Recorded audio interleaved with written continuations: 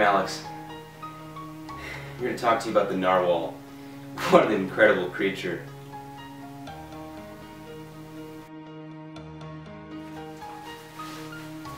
Like most cetaceans, narwhals are very social creatures. They travel in pods of 5 to 10 while hunting, and they communicate using a clicking dialect.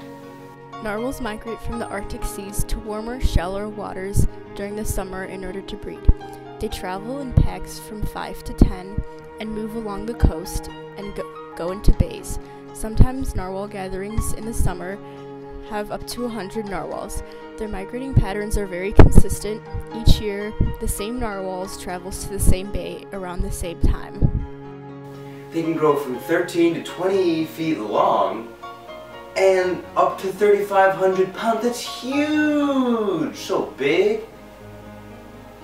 Narwhals are extreme divers. Their dives go up to 1,500 meters 25 for 25 minutes several times per day. During the summer, their dives are not as intense. They dive around 0 to 50 meters. As they migrate back into the Arctic waters, their dives increase.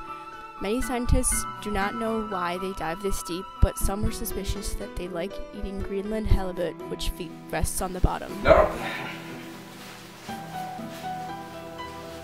Narwhal are pale-colored, spotted creatures with round porpoise-like heads.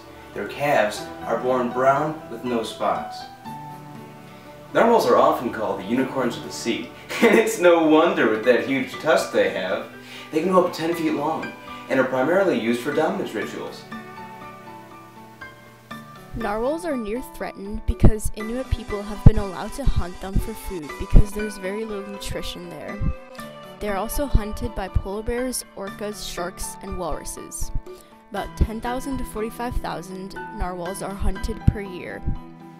And here's an interesting fact. Did you know that in the 16th century, narwhal tusks were sold as unicorn horns and believed to be magical? I had no idea.